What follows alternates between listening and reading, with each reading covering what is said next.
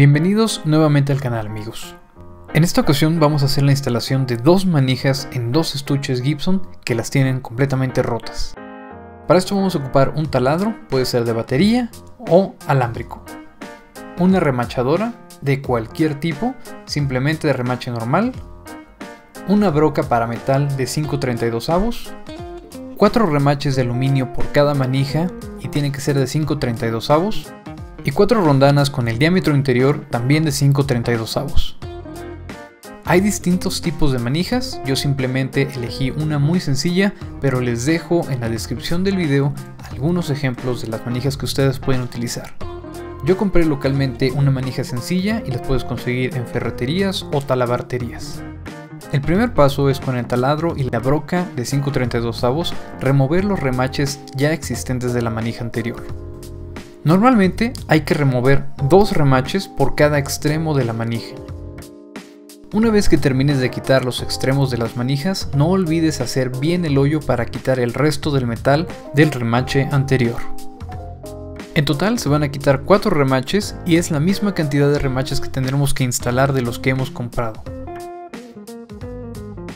Ahora vamos a tomar la manija que hemos comprado y vamos a presentarla para ver cuántos hoyos hay que hacer y cuáles podemos utilizar. En este caso la manija es un poco más pequeña, por lo que podemos utilizar únicamente 3 hoyos y tendremos que taladrar uno. El remache de 5.32 avos debe de entrar en todos los orificios que tiene la manija, pero la parte protectora no debe de pasar estos orificios. Colocamos la manija e insertamos los remaches de manera sencilla solamente para que sostengan la manija en posición. De esta manera podemos ver que nuestra manija esté funcionando correctamente y de la misma forma podemos seleccionar en dónde vamos a taladrar el siguiente hoyo para meter el otro remache.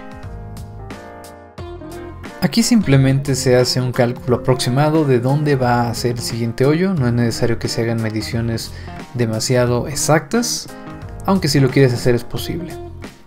Hay que taladrar el hoyo por completo, solo en todos los casos ten mucho cuidado no taladrar demasiado y que te vayas a pasar de la tela. Ahora vamos a tomar las rondanas y vamos a verificar que sean la medida exacta, tiene que quedar más o menos así.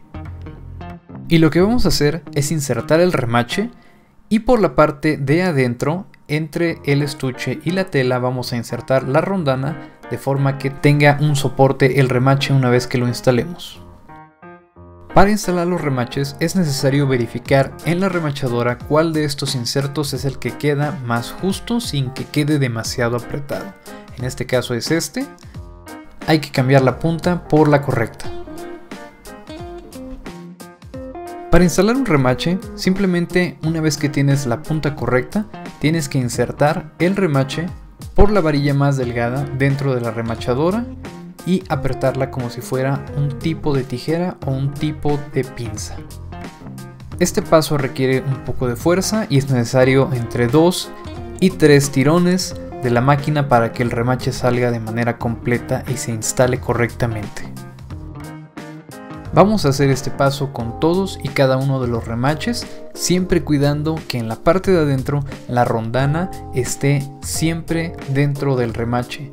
Es decir, la rondana es la que va a abrazar el remache y es de donde se va a sostener la manija.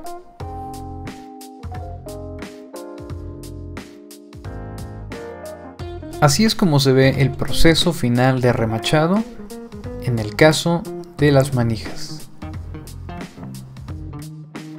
Aunque de manera automática el remache va apretando la manija, siempre es recomendable empujar un poco en el sentido del remache mientras lo instalas.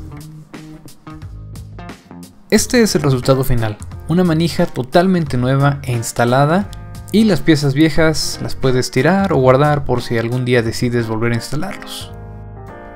Y por la parte de adentro, así es como se ve el remache abrazando a la rondana. Esto es lo que sostiene la manija.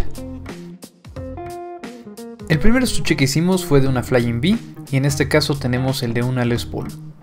En el primer caso la instalación fue en un lugar más plano y en el caso de la Les Paul va a ser un poco más curvo, sin embargo igualmente se pueden instalar estas mismas manijas.